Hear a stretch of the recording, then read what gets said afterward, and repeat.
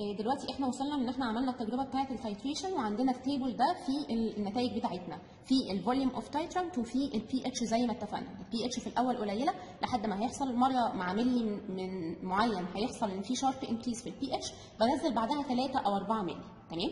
طيب أنا دلوقتي كنت بعمل كل التجربة ليه؟ علشان أنا عايز أطلع ال end point فأنا هطلع ال end point إزاي؟ إن إحنا بنرسم ال titration curve فبنرسمها طبعا على graph paper بيكون آه، عندي ال Y axis ده عليه ال pH وعلى ال X axis في ال volume of titrant بالملي. أنا لما أجي أرسم النتائج بتاعتي اللي طالعة من التجربة هلاقي إن هي بتبقى طبعا برسم كل point كده وأعمل حواليها دايرة عشان تبان. وأقوم جاية موصلهم بوصل ال curve ده بإيدي بوصل كل النقط بإيدي فبيطلع لي ال S shape كده بالشكل ده. تمام؟ لأن الأول كان البي اتش قليله عشان كان الاتش سي ال بعد كده البي اتش بتزيد آه، حاجة بسيطة لحد ما عند ملي معين بيبدأ يحصل ال sharp increase وبعدها بنزل 3 أو 4 ملي زي ما اتفقنا. تمام؟ أنا بقى من ال curve ده طبعا أي curve لازم اكتب إيه اللي موجود على ال axis على ال Y زي ما قلنا بي اتش موجود ال volume of titrant بالملي. لازم أكتب عنوان ال curve ده اسمه ال normal titration curve أو titration curve of HCl by 1 normal sodium hydroxide علشان بعدها تبقى كل حاجة الدنيا واضحة في ال curve عاملة إزاي. أنا عايزة أجيب ال end point بالظبط من ال curve ده. فال end point إحنا عارفين إن هو هتبقى ال end point موجودة فين؟ ال end point هتبقى موجودة تقريبا في نص الخط اللي هو اللي طالع فيه sharp increase ده. تمام؟ بس طبعا ده مش خط آه، أنا مش عامله بالمسطرة ده خط أنا موصله بإيدي. فما ينفعش أقوم جاي قايس المسافة دي مثلا وأقول آه أصل نصها يبقى دي end point لا ما ينفعش. تمام؟ أمال أنا عايز أعرف النص بالظبط اللي هي عشان أجيب ال end point بطريقة مظبوطة.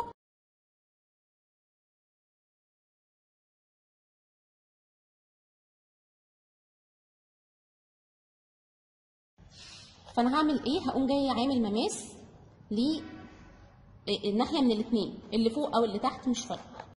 خليه يمر بأكبر عدد من النقط وخلاص. وبعدين بقوم جاي عامل مماس للجزء الثاني اهم شرط ان المماس الثاني ده يكون موازي للمماس الاولاني. علشان اعمله اعمله إزاي؟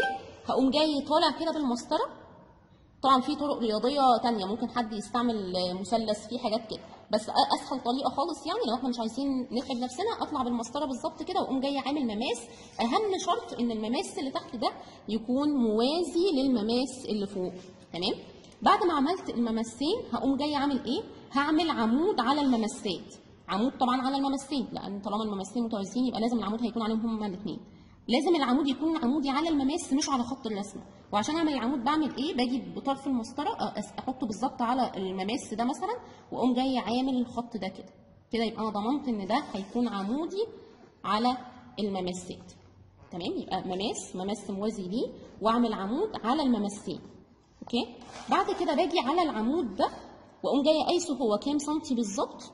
ده مثلا آه، ستة واتنين من عشرة يبقى نصه تلاتة وواحد من عشرة بنصف العمود ده.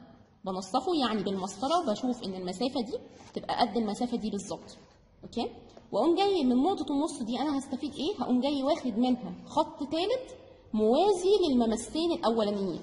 موازي يبقى أنا هاجي تاني على الخط على المماس ده كده وأقوم جاي طالع لحد ما أقابل النقطة اللي أنا واخد منها و- ونقطة النص وأقوم جاي عامل خط ثالث شرطه إن يكون موازي للمماسين الأولانيين. الخط الثالث ده اقوم جاي عامله عشان يقطع لي ال curve الأصلي بتاعي. ما انساش ال curve اللي هو شكل حرف ال S ده. هو ده ال curve الأصلي اللي أنا عايزه أجيب من عليه ال end point فأنا عايز الخط الثالث اللي هو الموازي ده يقطع لي ال curve بتاعي في نقطة. هي دي النقطة بتاعه ال end point تمام؟ طيب النقطة دي أنا عندي دلوقتي أنا ممكن أروح على يا إما على ال axis بتاع ال pH يا إما إن أنا على ال volume of titrant بس أفتكر دايما إن أنا عايز إيه؟ أنا عايز end point end point يعني إيه؟ يعني ال volume of titrant اللي عنده خلصت ال sample يبقى أنا دايما ال end point أشوف النقطة دي لي ال curve بتاعي فين. أنزل بالمسطرة على الاكس اكسس اللي هو ال volume of titrant وهي دي عندي ال end point النقطة دي كده هي دي ال end point بتاعتي.